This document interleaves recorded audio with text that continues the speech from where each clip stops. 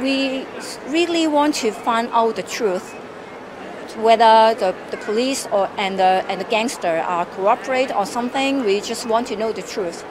So people really ang- show that ang- angry again yesterday night.